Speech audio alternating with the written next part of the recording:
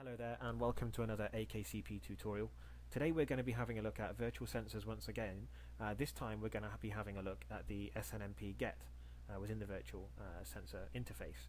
Now this basically allows you to monitor any SNMP compliant device. Uh, in this example we're going to be using a virtual sensor to monitor a temperature sensor connected to another AKCP device in the local area network.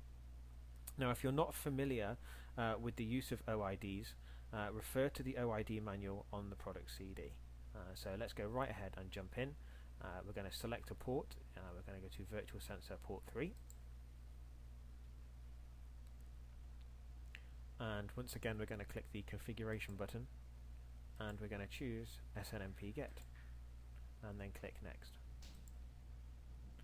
Okay, so uh, we will actually change the sensor name here uh, to um, let's change this to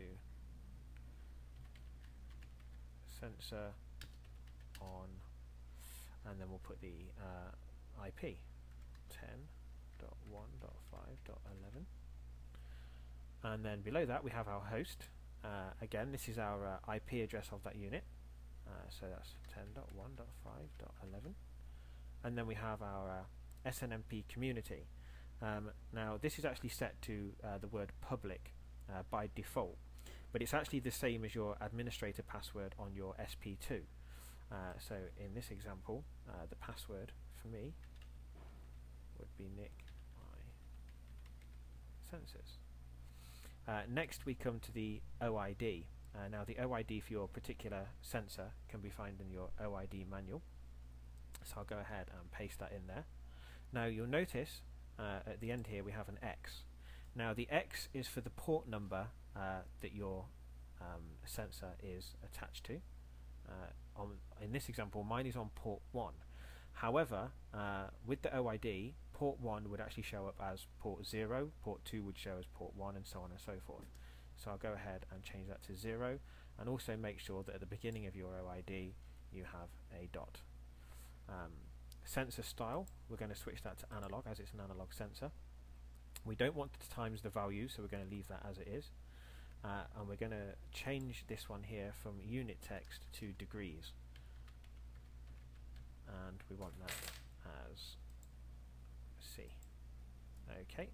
And then we have our value range for the notification threshold slide bar from 0 to 100 degrees. Uh, I'm happy with that, so we'll click next.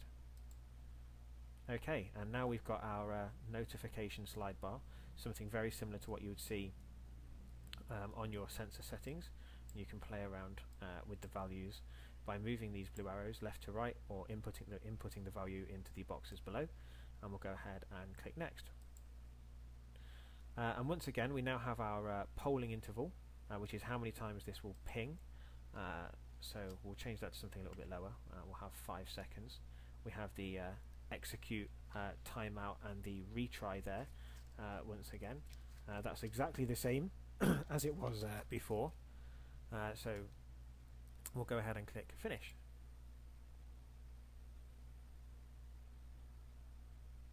And we'll just wait for the uh, screen to load up.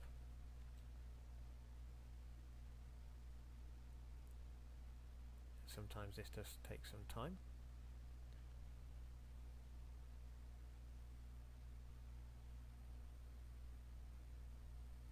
Okay, here we go. Okay, so now we have our sensor name, 10.1.5.11. Uh, at the moment it's in a low warning, so what we'll do is we'll just adjust our uh, notification thresholds here just to bring it into a normal status. Uh, it's currently online. Uh, we also have our normal mode slash uh, advanced mode uh, button. Again, the advanced mode options are exactly the same as what you would find in your sensor settings. So for more information on those uh, refer to the manual or have a look at a previous tutorial on sensors. Uh, we have the rearm value uh, we have our graphing uh, options there. We also have the sensors URL again rather than actually uh, inputting a uh, website that would actually be the URL of this sensor. So it'd be http colon forward slash forward slash 10.1.5.11 and that would actually then take you to the interface uh, of that particular probe. Uh, below we have the continuous time for the sensor to be in a new status before accepting the new status, exactly the same as you would find on all the other sensor settings. And you can input the values in here uh, and alter them as you wish. And then finally at the bottom again we have our uh, calendar options where once again you can actually choose the hours in the day and the days in the week in which you would like the sensor to be uh, to report or not report and you can simply click in these boxes and choose uh, which ones you prefer. And then we'll go ahead and click save.